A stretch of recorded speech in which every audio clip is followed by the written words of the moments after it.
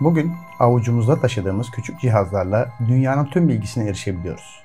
Tek bir dokunuşla binlerce yıl öncesine dair verilere ulaşabiliyor, hatta evrenin derinliklerine kadar inebiliyoruz. Kuantum fiziğinden kara deliklere, tarihin derinliklerinden teknolojinin zirvelerine kadar her şey parmaklarımızın ucunda.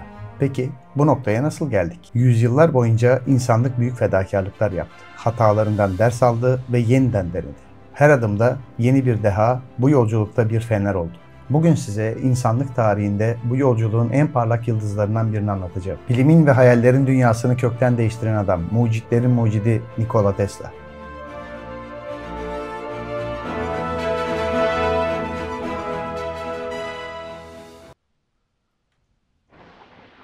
10 Temmuz 1856 gecesi. Avusturya İmparatorluğu'nun sınırlarındaki küçük bir köy olan Similyan'da gökyüzü şiddetli bir fırtına ile inliyordu. Yıldırımlar gökyüzünü parçalarken rüzgar eski ahşap evlerin çatılarını dövüyordu. Tam da bu kasvetli atmosferde Milutin ve Duca Tesla çiftinin evinde yeni bir hayat başlıyordu. Bebek annesinin kollarında dünyaya gözlerini açtığında evin içindeki gerginlik bir anda yerini huzura bırakmıştı. Ancak bu huzur kısa sürdü. Ebe, bebeğin doğumu esnasında gökyüzündeki şimşeklerle eş zamanlı olarak parladığını ve odanın bir anda aydınlandığını iddia etti.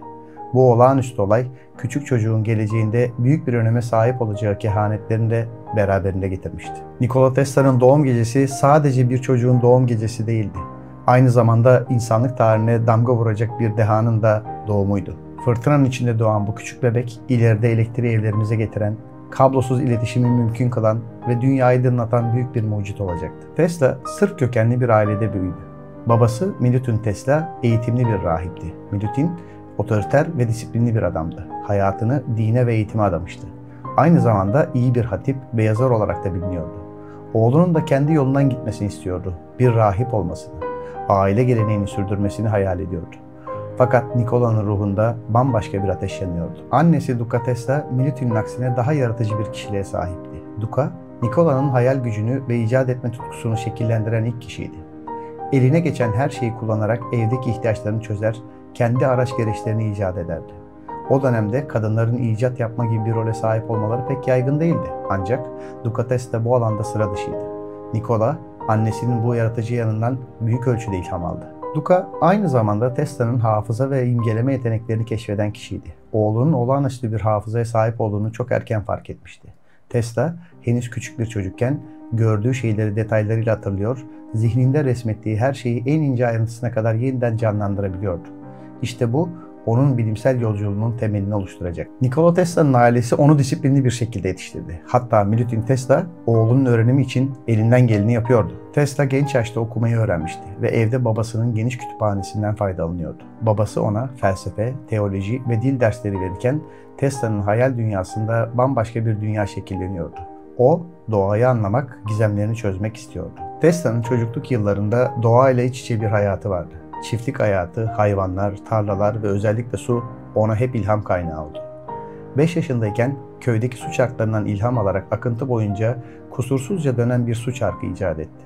Tesla o dönemde yaptığı bu küçük icadı yıllar sonra hatırlayacak pervanesiz türbününü tasarlarken aynı prensibi kullanacak. Tesla'nın çocukluk yıllarında yaşadığı hatta hayatı boyunca onu etkileyen en büyük trajedi abisi Dane Tesla'nın yani kahramanının ölümüydü. Dane Tesla ailedeki herkesin onu öldüğü üstün bir zekaya sahip ve yeteneğe sahip olan bir çocuk. Dane bir at kazasında ağır yaralandı ve Tesla'nın gözleri önünde hayatını kaybetti. Bu olay Nikola Tesla'nın ruhunda derin izler bıraktı. Ailesi bu trajedinin ardından asla eskisi gibi olmadı. Tesla ne yaparsa yapsın ailesi onun başarılarını abisiyle kıyaslıyordu. Bu durum Tesla'nın kendine olan güvenini zayıflattı. Abisinin gölgesinde büyüdüğü bu dönem Tesla'nın iş dünyasında büyük yalnızlık yaratıyordu. Tesla bu yalnızlığı doğaya ve bilime sığınarak gidermeye çalıştı. 1873'te Tesla henüz 17 yaşındayken Hırvatistan'da kolera salgını patlak verdi. Salgın hızla yayıldı ve genç Tesla da bu hastalığa yakalandı. Doktorlar onun hayatta kalma şansının çok düşük olduğunu söylüyordu. Tam 9 ay boyunca yatağa bağlı kaldı. O kadar zayıf düşmüştü ki ailesi her gün onun son günlerini yaşadığını düşünüyordu. Tesla, ölümün gölgesine geçirdiği bu dönemde sadece hastalıkla değil, hayatındaki büyük bir kararla da yüzleşiyordu. Hasta yatağındayken bir gün babasına dönerek şöyle söyledi. Eğer mühendislik okumama izin verirseniz iyileşebilir. Babası Nikola Tesla'nın bu sözlerinden gerçekten de çok etkilendi. Ona dünyanın en iyi mühendislik okullarında okuyacağına dair söz verdi Sanki bu anı bekleyen Nikola Tesla çok hızlı bir şekilde iyileşmeye başladı. Hastalığı atlatan Nikola Tesla'nın içinde bitmek bilmeyen bir öğrenme arzusu vardı. Fakat aşılması güç bir bela yine onu bekliyordu. Avusturya Macaristan İmparatorluğundaki zorunlu askerlik görevi. Bilimin ve icatların dünyasında kaybolmak isteyen Tesla eline silah almak yerine doğayı anlamak istiyordu. Ancak bu o dönemde bir bilim insanı için kolay değildi. Üstelik o dönemdeki savaşlar ve zorunlu hizmet genç Tesla'nın bilime olan bağlılığını tehdit ediyordu. Tesla hayallerinin peşinden gitmek için bir karar aldı. Askerlikten kaçtı, dağlara çekildi ve izini kaybettirdi. Artık hayatını gizlemek zorundaydı. Aylar boyunca dağlarda doğanın kucağında bir sığınak buldu. Ancak bu yalnızlık Tesla için sadece fiziksel bir kaçış değildi. Aynı zamanda zihinsel bir yolculuktu. Dağlardaki yalnız günler Tesla'nın zihnini yeniden şekillendirdi. Doğayla baş başa kaldığı bu dönem onun içsel bir dönüşüm yaşamasına neden oldu. Yalnızlık ona bilimin ve doğanın iç içe geçmişliğini derinlemesine anlama fırsatı sundu. Tesla, doğanın işleyişini gözlemlerken zihninde sayısız fikir geliştirdi. Her şeyin birbiriyle bağlantılı olduğu, doğanın elektrikle beslendiği bu düşünceler onun alternatif akım üzerine olan inancını daha da pekiştirdi. Bu yalnız zamanlar Tesla'nın hayal gücünü güçlendirdi, onu gelecekteki büyük projelerine hazırladı. Ancak bu yalnızlık uzun sürmedi. Tesla dağlardan inip Avrupa'ya geri döndüğünde hayatını tamamen değiştirecek kararlarla yüzleşecekti. 1875 yılında Nikola Tesla'nın hayatı Graz'da bulunan Avusturya Politeknik Okulu'ndan içeri girmesiyle yeni bir ivme kazanıyor. Askeri disiplinle örülü bu okul Nikola Tesla'nın zihnini parlatacak hatta gelecekteki yapacağı buluşlar için de onu hazırlayacaktı. Tesla ilk yılında adeta bir yıldız gibi parladı. Ders kaçırmadı, notları en üst seviyedeydi ve gereken sınavların neredeyse iki katını vererek kendini gösterdi. Okulun teknik fakülte dekanından babasına gelen bir mektupta şöyle yazıyordu.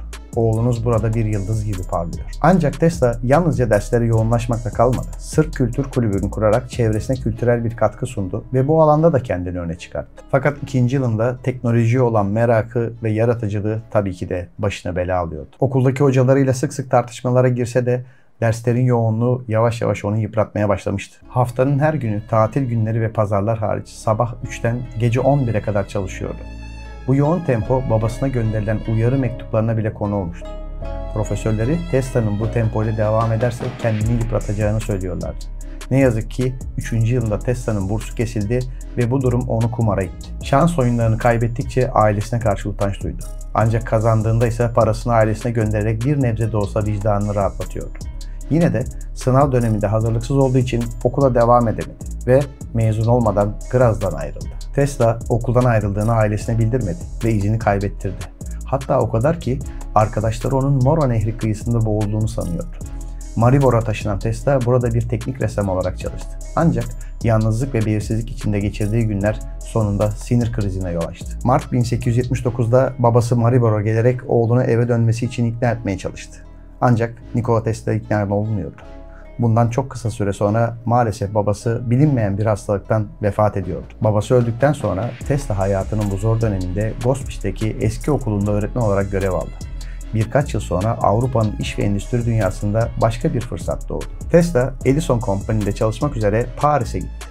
Paris'in elektrikle yeni tanıştığı bu dönemde Tesla'nın mühendislik bilgisi ona Edison'un şirketinde önemli bir rol kazandırdı. Aydınlatma tesislerinde çalışarak teknik bilgilerini pratikle geliştirdi ve mühendislik problemlerini çözerken ustalaştı. Nikola Tesla burada edindiği bilgi ve deneyimlerle gelecekte çığır açacak projelerinin ilk tohumlarını atmıştı. Yıllar 1884'ü gösterdiğinde Paris'te Edison şirketinde çalışan Nikola Tesla'nın yolu Amerika'ya doğru uzanıyordu. Edison'un müdürü Charles Bacelor, New York'taki Edison Machine Works'ün başına geçmek için geri çağrıldığında Tesla'nın yeteneğinden o kadar etkilenmişti ki onun Amerika'ya gelmesini istedi. Haziran ayında Tesla büyük bir umutla Amerika Birleşik Devletleri'ne ayak bastı. Bu yalnızca yeni bir ülkeye değil, aynı zamanda çığır açacak bir döneme doğru atılmış bir adımdı. Tesla, Manhattan'da Edison Machine Works'te işe başladı. Bu tesis, Edison'un elektrik imparatorluğunu besleyen, yüzlerce işçi ve mühendisle dolu gürültülü bir atölyeydi. Tesla burada jeneratörlerin geliştirilmesi ve karmaşık elektrik sorunlarının çözümü gibi görevlerle uğraşırken bir yandan da sık sık Thomas Edison'un ofisinde kendisini buluyordu. Edison'un yenilikçiliğini ve farklı bakış açısını izleyen Tesla, kendini bu dev adamın gölgesinde bir mühendis olarak değil, geleceğin şekillendiricisi olarak hayal ediyordu. Bir gece SS Oregon adlı okyanus gemisinin dinamolarında büyük bir sorun yaşandı. Tesla hiç durmaksızın bütün gece çalışarak sorunlu makineleri onardı. Sabahın ilk ışıklarında yorgun ama görevini tamamlamış bir şekilde Machineworks'e geri döndüğünde Edison ile karşılaştı. Edison, Tesla'nın gece boyu dışarıda olduğunu düşünen arkadaşlarına espriyle Parisli adam derken Tesla'nın Oregon'u tamir ettiğini öğrenince hayretle lanet olası iyi bir adam diye övgüde bulundu. Bu an iki dahi arasında kısa süreli de olsa bir hayranlık bağı kurulmuştu. Ancak Tesla'nın yetenekleri Edison'un vizyonuyla her zaman uyuşmuyordu. Tesla'ya verilen projelerden biri yüksek voltaj gerektiren ark lambalı sokak aydınlatma sistemini geliştirmek. Ancak bu sistem Edison'un alçak voltajlı ark ampulleriyle uyumsuzdu ve Edison sokak aydınlatma projesindeki sözleşmelerini kaybetme riskiyle karşı karşıya kalıyordu. Tesla'nın yenilikçi tasarımları bu sorunu çözmeye aday olsa da hiçbir zaman üretime geçmedi. Edison'un farklı bir arka aydınlatma şirketiyle yaptığı anlaşma veya teknik değişiklikler nedeniyle projeler rafa kaldırıldı. Tesla, Edison'un ona büyük bir görev karşılığında vaat ettiği 50 bin dolarlık ödülü hayaliyle görevine sıkı sıkı bağlı kalsa da maalesef Machineworks'te 6 ay çalışabildi. Çünkü projeyi tamamladığında aldığı yanıt bu bir şakaydı oldu. Tesla'nın gözlerinde parlayan ışık bir anda söndü. Edison ona Amerikan mizahını anlamıyorsun diyerek karşılık verdiğinde Tesla hayal kırıklığı ve öfke içinde buradan ayrılmaya karar verdi. Tesla Edison dünyasından ayrıldığında yepyeni fikirlere ve kendi yolunu çizme arzusuna sahipti. Tesla'nın yolu hayatını değiştirecek bir isimle kesişti. George Westinghouse.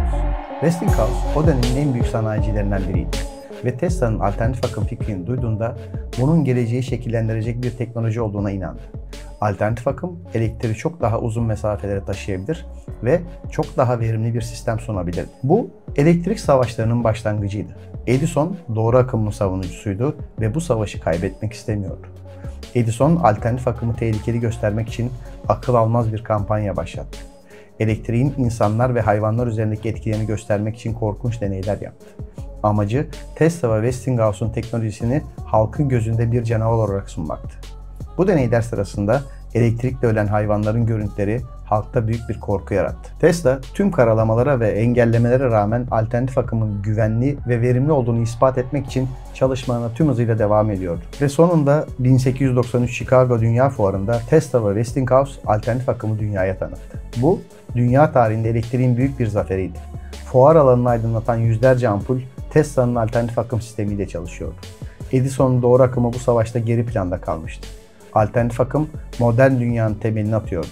Tesla'nın vizyonu sonunda gerçeğe dönüşmüştü. Yaptıklarından güç alan Nikola Tesla 1901 yılında bilim dünyasında devrim yaratacak yeni bir proje üzerinde düşünüyordu. Elektrik savaşının daha yeni kazanmasına rağmen elektriğin kablolar üzerinde taşınmasını halen benimsemiyordu. Hayalinde daha büyük bir proje vardı. Elektriği kablosuz bir şekilde tüm dünyayı iletmek. Tesla, elektriğin doğanın temel güçlerinden biri olduğuna inanıyordu.